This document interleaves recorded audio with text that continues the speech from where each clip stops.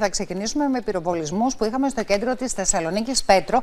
Είναι ξεκαθάρισμα λογαριασμών μεταξύ ατόμων της γεωργιανής μαφίας στην πόλη; Αυτό φαίνεται, καθώς ένας τραυματίας, ο οποίος έπεσε στα χέρια των αστυνομικών, μόφυρτος, είναι από την Γεωργία και ήδη θα καταθέσει για να εξηγήσει τι ακριβώς συνέβη.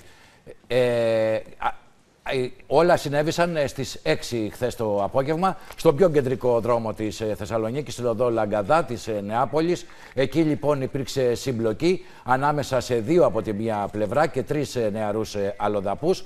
Τραυματίστηκε από πυροβολισμό στο πόδι ο ένας, όπως είπαμε. Μεταφέρθηκε στο νοσοκομείο, νοσηλεύεται φρουρούμενος, θα καταθέσει και πιθανότητα θα βρουν τι διαφορές οδήγησαν στο ξεκαθάρισμα.